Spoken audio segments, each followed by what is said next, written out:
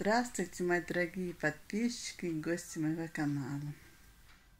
Сегодня с вами хочу поговорить об очень интересном случае, который со мной произошел. Он будет поучительным для всех нас. Этот случай касается очень многих людей.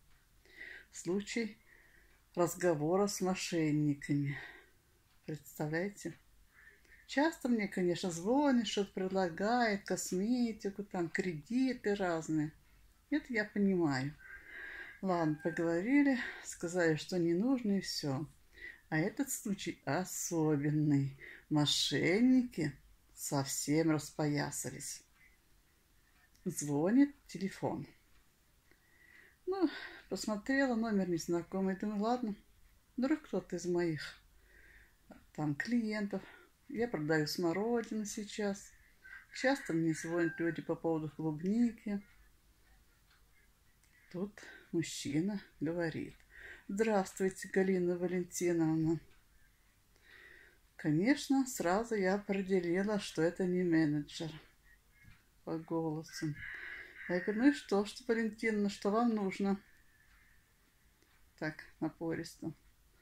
А вы заказывали кредит в банке, Сбербанке. У меня для вас интересная информация. Я говорю, все, что связано с Сбербанком, я или в офис схожу, или на сайте посмотрю. И трубку положила. Звонит снова навязчиво. Почему не хотите выслушать информацию? Эта информация касается вас. На вас хотят кредит оформить. Я, конечно, в ответ говорю, может, и оформите. Кто вас знает, чем вы занимаетесь. И не звоните сюда больше. Опять трубку положила.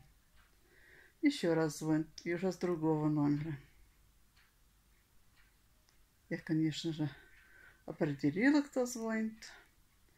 Он стал снова про свою информацию, что на меня повесит кредит, что я непослушная. Ну, я в ответ ему и говорю. Еще раз позвоните, ваш номер передам в полицию. На что он мне отвечает. Да пошла ты и полиция на Х и еще две буквы. Представляете? Мошенники совсем распоясались. Просто хочу сказать, что нужно быть очень осторожным. Вот.